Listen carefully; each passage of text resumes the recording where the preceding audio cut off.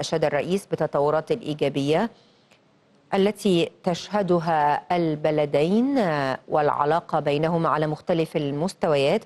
وأكد حرص مصر على استمرار تنسيق والتشاور المكثف لتطوير التعاون المشترك بما يلبي طموحات الشعبين والدولتين.